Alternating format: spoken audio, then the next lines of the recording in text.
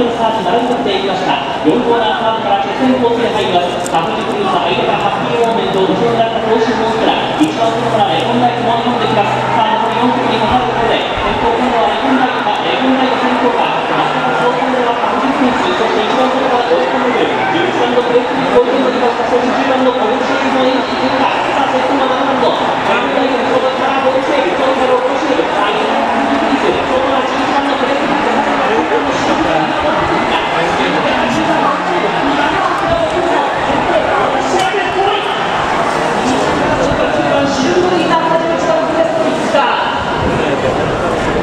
10番ボルシェール3勝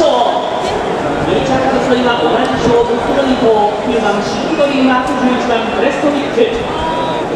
勝ち時計は24秒1ゴールまでの 800m は47秒 3600m は35秒4と上がっています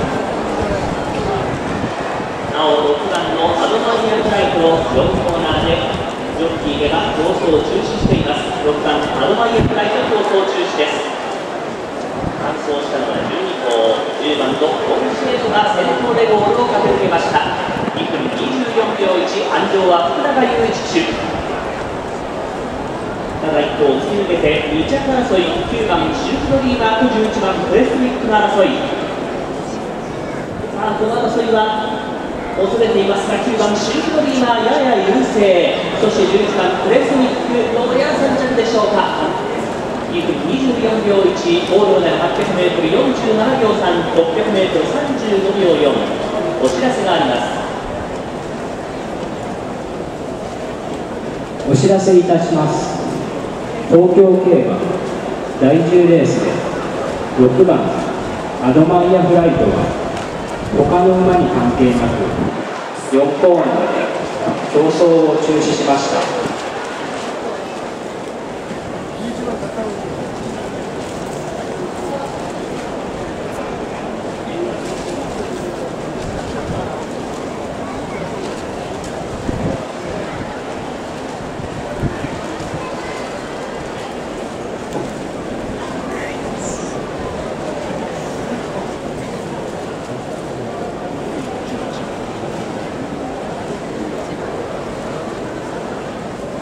京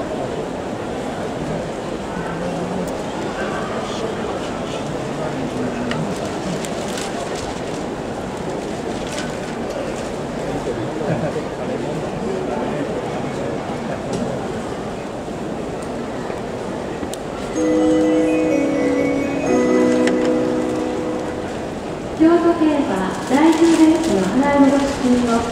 場内テレビでご案内しております。